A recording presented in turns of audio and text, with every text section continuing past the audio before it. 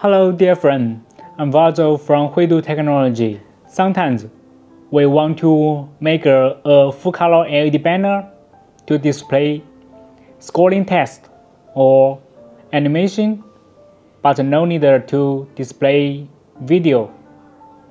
In this situation, I suggest to use our WF series Wi-Fi controller like uh, WF1. It has one Hub 75 port for full color LED modules and uh, WF2.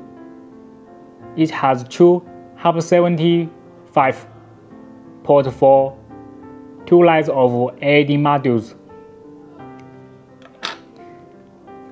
and uh, WF4 it has four Hub 75 port for LED banners.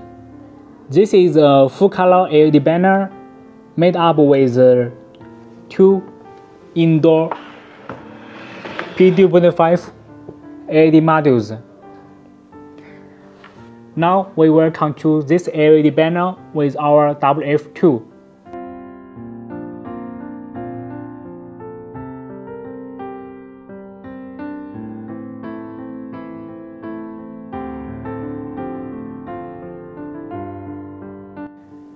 Now we power on the LED banner. Before, before configuration the LED banner, the display is not correct. Now we will configure the LED banner with our LedArt application. Firstly, open the LedArt application, click, click device, find the device to find the SSID of the Wi-Fi WF2 controller.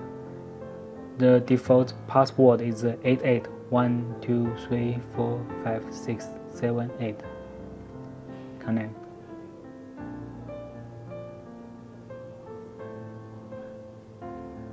And uh, we click program. Create a new display. Choose the device ID. Add a new screen. set screen resolution with 128 pixel height also 128 pixel full color if we want to display some animation so we need to add some gray level like 4 or 8 to the screen to make it can display more colors. We can add the image.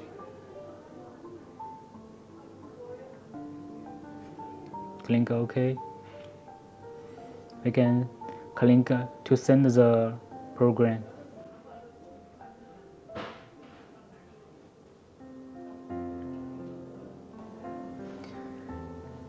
now the display is also not, not correct. We need to configure the LED modules. We click device hardware because the module is P2.5 32 scan so we choose scan group choose full color 32 scan